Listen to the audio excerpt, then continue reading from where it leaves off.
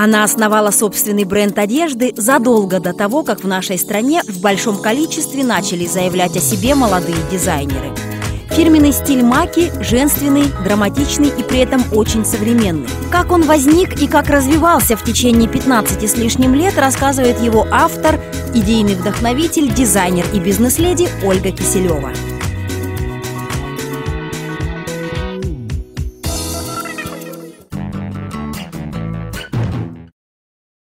Самого детства у меня были такие мечты. И когда уже школа подходила к концу, я выбрала швейную. Почему-то у меня такое сложилось впечатление, что нужно пройти все ступени от начала и там, до дизайнера, до дизайна одежды. Я портной по специальности, конструктор, закройщик. То есть э, веду сейчас свой бизнес и э, знаю все аспекты этого бизнеса. Когда-то, когда мы начинали, это было э, название мастерская Киселевой, Маки. Вот отсюда это пошло название. А потом, уже когда я начала работать, и через несколько лет это настолько сильно ко мне прилипло, что люди вообще удивлялись, что это не моя фамилия.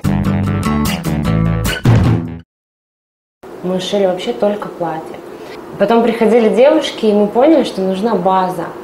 То есть мало того, что ты умеешь шить красивые платья, сочетать какие-то там фактуры ткани, еще что-то, нужно гардероб, чтобы был наполнен разными вещами.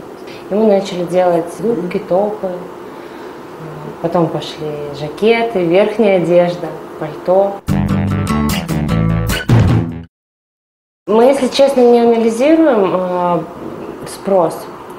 Э, мы шьем вот то, что, то, что я вижу. Я могу увидеть какую-то ткань, и мне понравится фактура, цвет, неважно что. И я могу сразу э, на ходу тут же придумать, что из этого будет э, очень круто смотреться, на мой взгляд. Потом я дорабатываю эту идею в голове, рисую.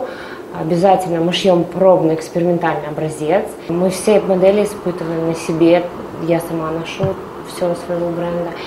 И мы очень много работы проводим именно с силуэтом, с кроем. Здесь можно позволить себе совместить и бархат, и трикотаж, и сделать это удобным, комфортным для жизни.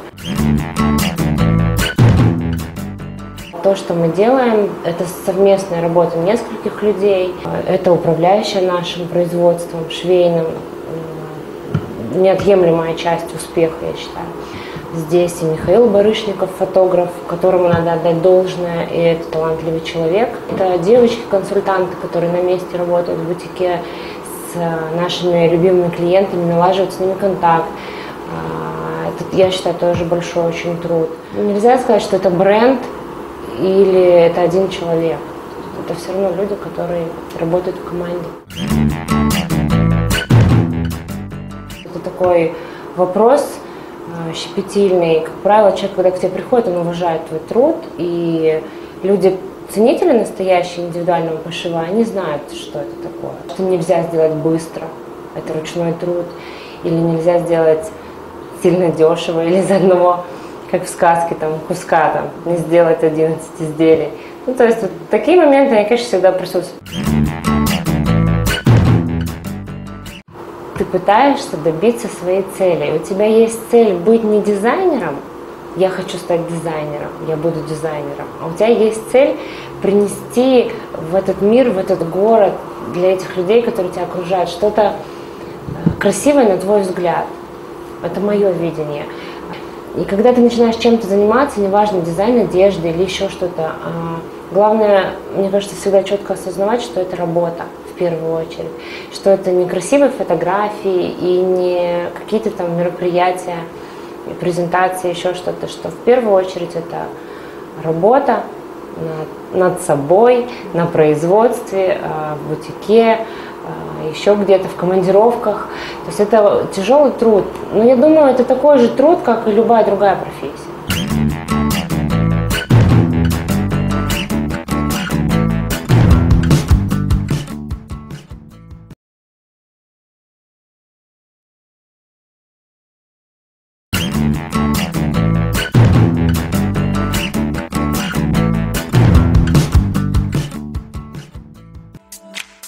Основанный в 2000-м, модный дом «Я» одним из первых предложил жительницам нашего города высокую моду в исконном смысле этого явления.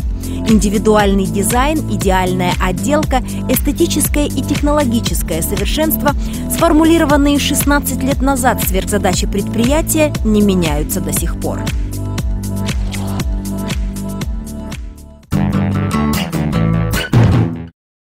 Я попала в модный дом несколько лет назад, и в то время мы праздновали год нашему предприятию. А сегодня мы празднуем уже 16-летие. И уже когда я появилась в команде, у нас появился салон тканей. Я пришла в модный дом я за тканью для своего свадебного платья. Ну а потом пришла сюда работать. Когда я сюда шла, это уже было известное предприятие с заработанным именем. Первый месяц я присматривалась, я была больше в стороне. В результате затянула, настолько творчество взяло вверх, что как-то оказалась в гуще всех событий. Сначала, может быть, человек, опять же, приходит нахохлившись и далеко не уверен э, в том, что ему вообще это надо и э, нужен этот модный дом. А в конечном итоге это просто одна большая семья. Каждая вещь обязательно э, строится конструктором. Это инженеры, это люди, которые на бумаге строят конструкцию каждого изделия. Это очень кропотливая, это очень высокоуровневая работа. Есть э, сто процентов авторский почерк предприятия. Это вот вещь из модного дома, я узнаю, наверное, вообще там из тысячи. Я знаю практически каждую вещь изнутри. Мы делимся творческими идеями, мы делимся конструкторскими новшествами. Они перфекционисты. То есть все должно быть идеально вот до последней буквы, до последней строчки, до последней закрепки. То есть от начала, а, что называется, от покупки ткани до конечного изделия все люди, которые сюда попадают работать, они не случайны. Мы все подружились, э, все друг друга поддерживаем, помогаем друг другу. Не сидим на месте и не даем друг другу сидеть на месте. И Ярослава тоже э, определенный двигатель. И еще у Ярославы есть э, замечательное качество. Это умение разглядеть в людях больше, чем они сами в себе могут увидеть. Увидеть перспективы их дальнейшего роста. И она не ошибается. Каждый из э, членов команды э, увлекается, увлечен вот этим вот процессом. Это невозможно не любить, если ты здесь работаешь, и невозможно работать, если ты не любишь. То есть вот это вот одно за другое цепляется. Мы настолько друг друга хорошо знаем, что все а, заинтересованы в той атмосфере, которая сейчас есть. То, чего мы достигли, это благодаря тем людям, которые здесь работают. Благодаря тому, что мы сплотились в одну большую хорошую команду. И то, что у нас сейчас есть, наверное, это неотъемлемая часть каждого из нас. Очень интересно наблюдать трансформацию клиента за 16 лет. Если раньше я ношу только классический стиль, то теперь мы пробуем абсолютно разные направления. Это в основном те люди, которые в постоянном поиске, которые постоянно реализуют свои какие-то мысли. Это творческие люди, у них есть свой взгляд на жизнь, на вещи. Но объединяет их то, что они хотят быть индивидуальными, стильными, модными, красивыми. И очень хорошо, что мы вкладываем хоть какую-то частичку в их красоту. Они в первую очередь идут за качеством и индивидуальностью. Можно поменять слова за индивидуальностью и за качеством, но одно без другого быть просто не может. Они делятся своими идеями. От этого рождаются гардеробы, абсолютно новые, индивидуальные гардеробы. Мы всегда думаем, к чему нам двигаться дальше. И одной такой ступенью было это работа с мехом.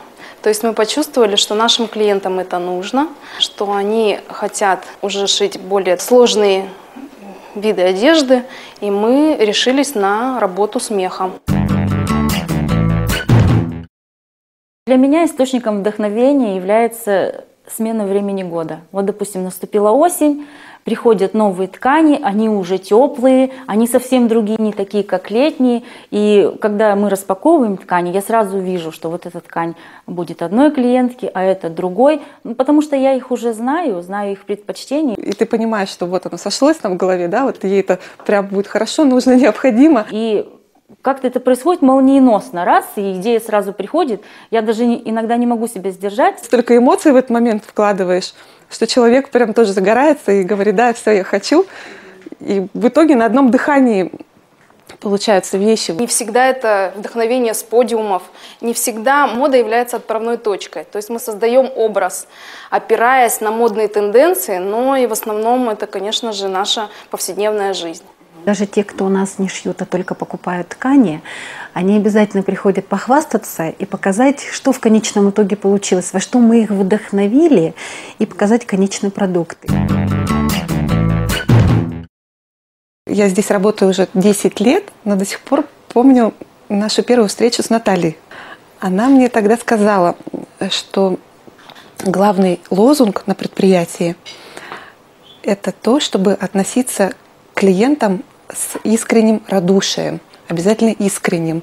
Вообще надо искренне э, любить свою работу и быть честными. Для нас это, наверное, самое главное тогда, когда ты бежишь на работу, тогда, когда ты горишь на работе, когда ты думаешь о работе где-то, находясь, когда есть э, возможность заработать и делать то, что ты любишь, это замечательно.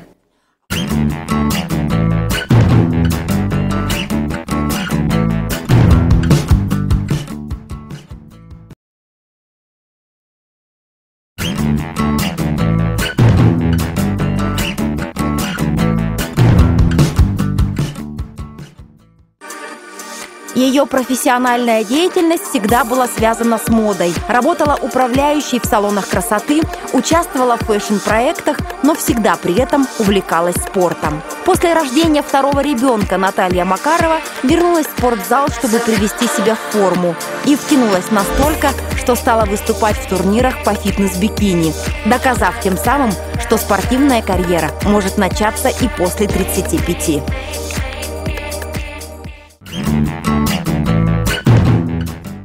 Я вообще с детства мечтала об этом виде спорта.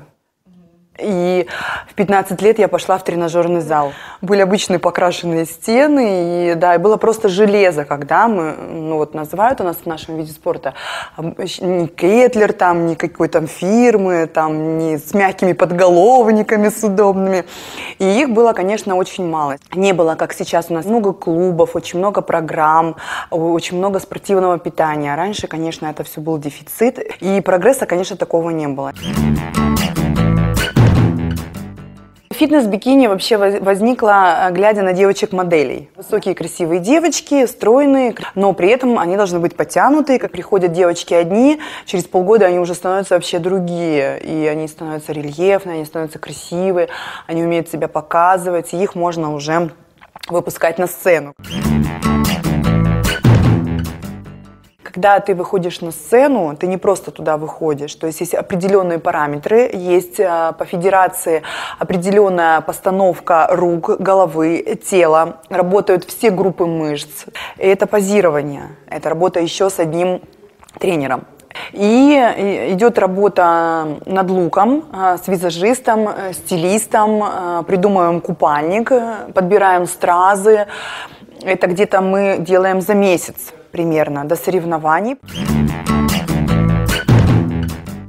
Это, конечно, очень большой, э, большой труд. Труд это однозначно.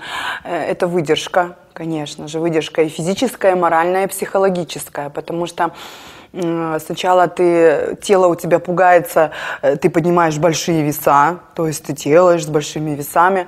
Потом ты перед соревнованиями переходишь на маленькие веса. Сначала ты много кушаешь, потом ты кушаешь мало.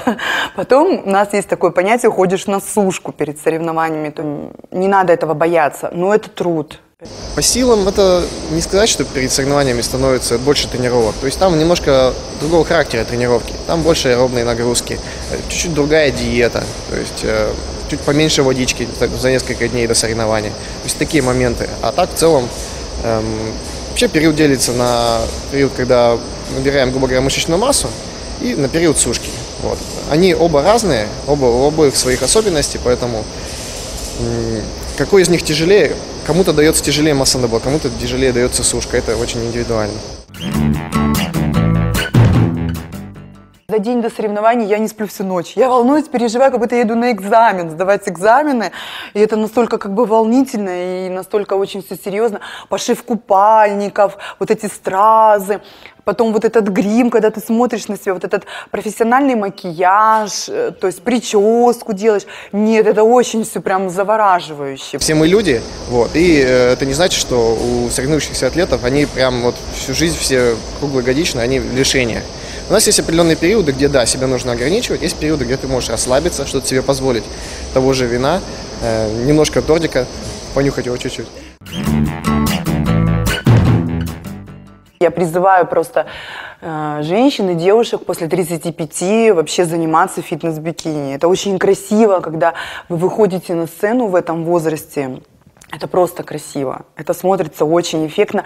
Во-первых, когда выходят девочки, они девочки, по ним видно, что им 20 лет, они такие еще молоденькие, взгляды у них такие. И когда выходят уже после 35 девушки, да, уже мастера, бикини-мастера, у них даже взгляд другой. То есть они себя несут на сцене по-другому, уже более осознанно, более серьезно. Я просто рекомендую всем заниматься после 35 вообще этим видом спорта.